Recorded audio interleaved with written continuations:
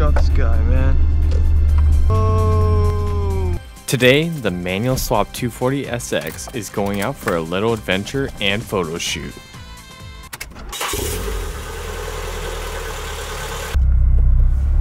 Buckle up. Just got this new camera, so as we enjoy the sunny weather and windy roads, I'll be taking pit stops along the way to show off some of my photos, but more importantly, show off the car and the scenic views.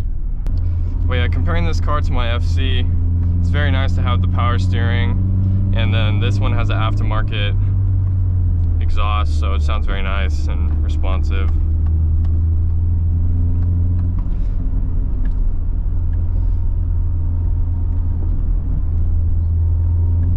Should be in, eh, I guess third gear was fine through there. I'm not sending it, so. This is uh, actually an S14 transmission. This was automatic when it first arrived, but did a manual swap because the automatic transmission on these things is pretty not good. So it's a lot more fun now.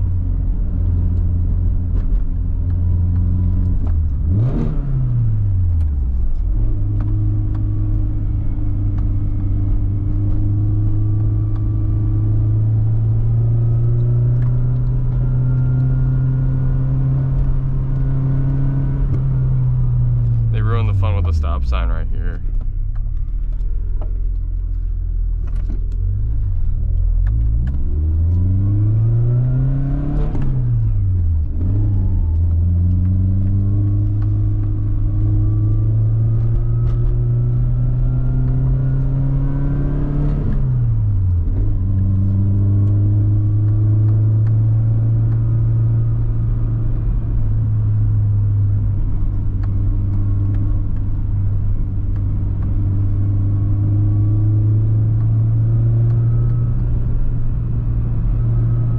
Beautiful view of uh, South Bay, Los Angeles. There's aftermarket suspension on this thing. It feels very stable through the corners.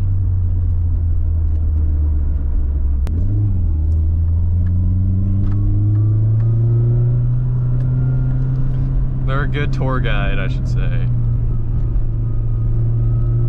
I cut the mustard. I'm sorry. Ah, it was pretty clear there. Biker.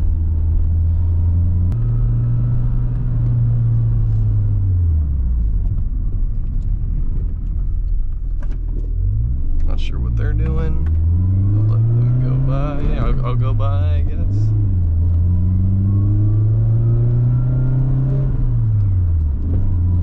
Maybe they like the 240. No, they're still there.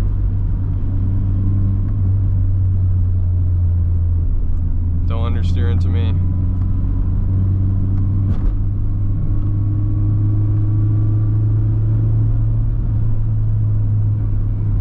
Whoa! That's sick. The Porsche Club's here.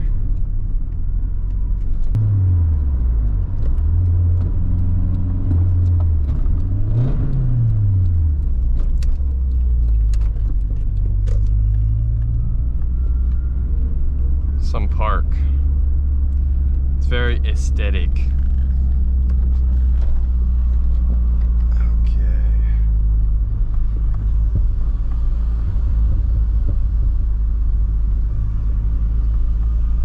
Miata. I really like the trees there.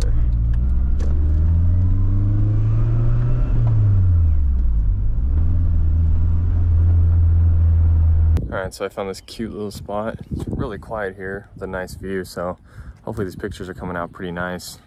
This thing is so fun to drive. I cannot understate that. But it really makes me want to get my RX-7 perfected and make the driving experience a lot more fun. It was a very sunny and bright day, so the sun glare off the car and strong shadows were both a blessing and a curse. The nice naturey green backdrop and the bright blue sky really paired with the red 240 very nicely. In this picture, I wish I had gone for a lower angle so I could have fit the top of the tree in, but you live and you learn. Anyways, back to cruising. wondering why I'm driving so slow. This is actually where the cops got me at night. So I'm not trying to go anywhere over the speed limit here. Just following the flow of traffic. Even they are going a little bit fast. The cop was hiding on the other side of the street there with the radar or the laser. And it's pitch black here during the, the night, so you can't really see anything. So they got me good. Actually, I think it was right there in that little alcove straight ahead. And then they turned the lights on, like the big bright uh, floodlights. Yeah, right there. Right near the park sign. So they they clocked my speed here.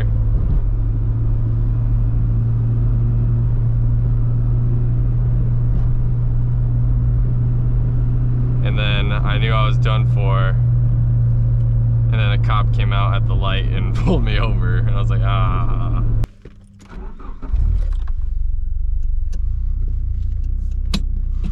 Okay. Let's roll.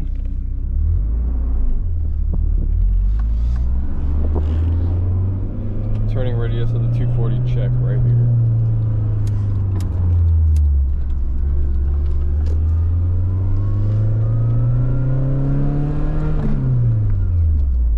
At the second Very spot, nice. I tried to get a shot of the ocean in the background since I didn't get one earlier. The sun was even brighter at this time, so the glare was even stronger on the car. On top of this, the shadow on the dark side of the car was very, very dark. This made it really hard to get the settings just right, so I think I should try to find a better spot next time that fits my needs. However, in the next photo, I tried to take advantage of the location and was shooting on the more well-lit side of the car, and I was playing around with the shutter speed so I could get a cool blurry shot of the passing car in the background. That Mercedes was pretty cool looking, so I think it's pretty neat, and playing around with the settings is how you learn.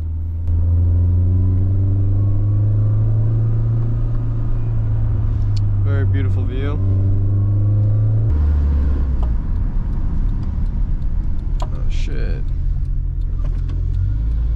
Cops got him. Cops got this guy, man.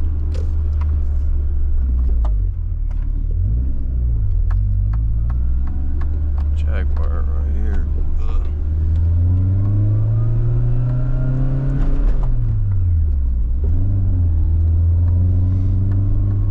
Damn, they got him on the curb. That poor guy. He's taking one for the team. That's why you don't speed up here, guys. It's just not worth it. They got me once, but they, they didn't pull me out the car.